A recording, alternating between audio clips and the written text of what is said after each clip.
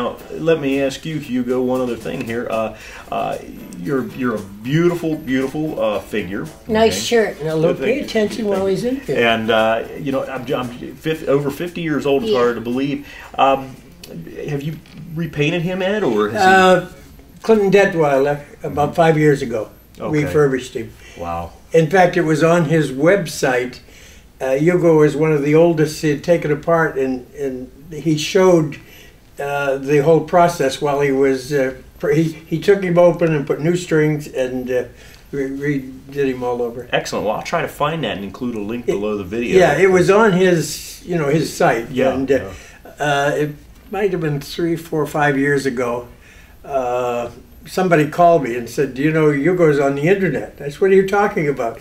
Because I knew uh, he uh, Clinton had him, and uh, Clinton was putting him on while he was repairing him. Okay, well, he did a beautiful job with him.